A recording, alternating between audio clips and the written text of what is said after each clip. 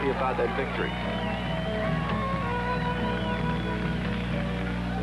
There were a number of world titles granted at the Rose Bowl, and I was fortunate to take the one in accuracy.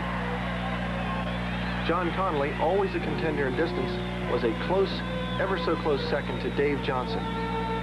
Dave, however, taking both the outdoor and the indoor in an astounding performance, puts it out over 95 yards. Once a semi-pro pitcher, you can either throw things far or you can't.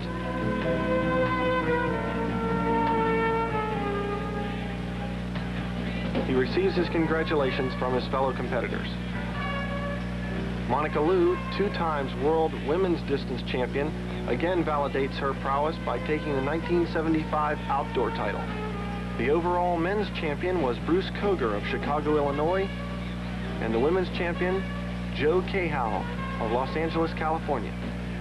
Their titles were based on fine finishes in the world-class master competition.